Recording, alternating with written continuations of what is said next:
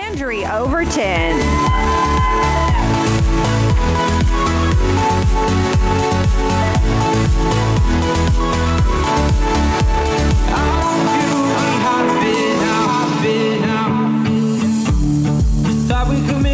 if I just held on. But it's really crazy how love could fade so fast.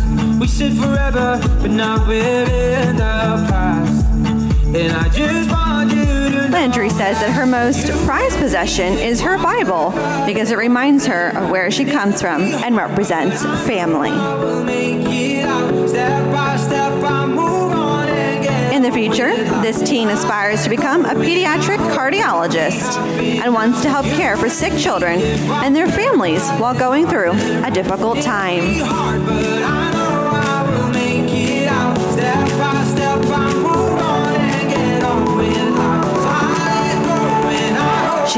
Landry Overton.